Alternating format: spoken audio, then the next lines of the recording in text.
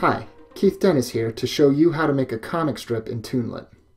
Toonlet.com is a website that lets you create your own comic strips. It's fun and ridiculously easy to use. So easy, in fact, that it doesn't really require a video tutorial on how to do it, but here's one anyways. You can watch another potentially needless tutorial on how to make your own Toonlet characters.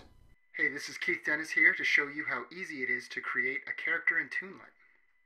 But you don't actually have to make your own characters. If you wanted to try out a comic strip idea, Toonlet provides some pre-made characters for you. Click Make a Comic to get going. If it's your first time, you'll go right to this Make a Comic screen after you've created your first character. Click on Choose Character. All these guys are people I made, but down here at the bottom, there's an eclectic collection of characters, each with a variety of moods. But I think the fun in Toonlet is creating your own characters and strips. We'll come back to characters in a little bit. Here on the Make a Comic screen, you'll see four blank panels. Each panel has the ability to hold one character, one dialog bubble, and one text box, which can be used like a thought bubble or a description or something like that. You can also select a background color for the frame here. Your Toonlet comic can be any length. If you only want it to be one frame, all you have to do is fill in the first frame and leave the others blank. The finished product will only show off the frames that you use. If you need to use more than four frames to tell your story, just click down here on the Add Panels button. Again, Toonlet will only use the frames that you fill in. So if you want to do a four panel strip, you could fill in the top four panels. Or you could fill in these two and two from the second line to make a little four frame box. You can even mix it up and do a 3-4-3 and it'll format itself accordingly. For my strip today, I'm going to need 12 frames, which I'll do three rows of four. I'll start by writing in all the dialogue first. You don't have to do this. You can go one frame at a time, writing, choosing the character, and the background color.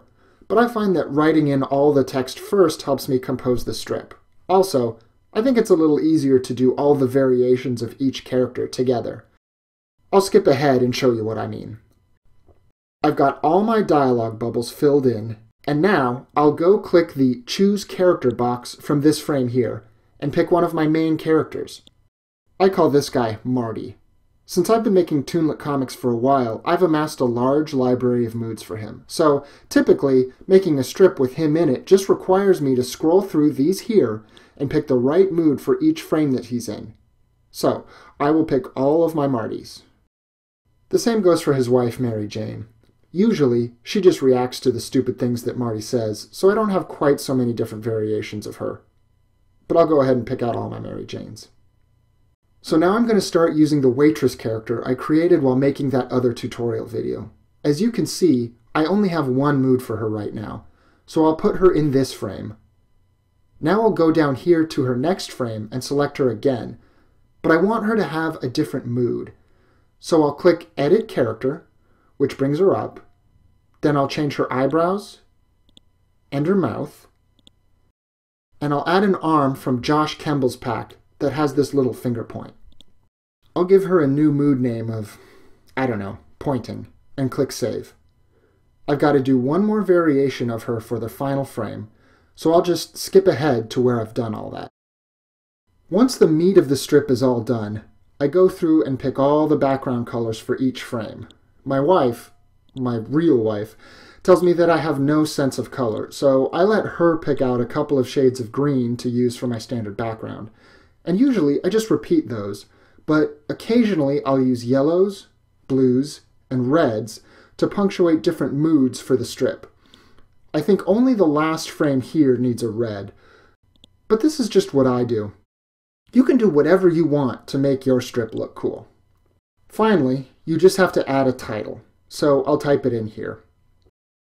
In the link space, you can add a URL to your own website or any other website that has anything to do with what your strip is about. Here, you can check to automatically capitalize all the panel text.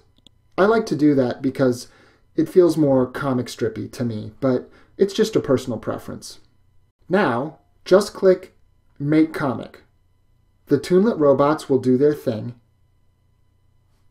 And now you have your own comic strip. Look it over. If you see something you don't like, you can click the Edit button and go back and make corrections. You can do this at any time, even if the strip is months old. If you want to see the finished version of this strip, just go to toonlet.com slash creator slash Keith Dennis. Depending on when you see this, you may have to scroll back through a few strips to find it, which you can do by clicking this back arrow.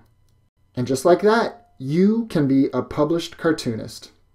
Give it a try. You don't have to make strips that are funny like Dilbert.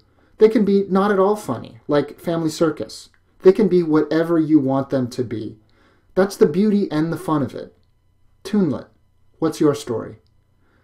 I'm Keith Dennis, and I thank you for your time.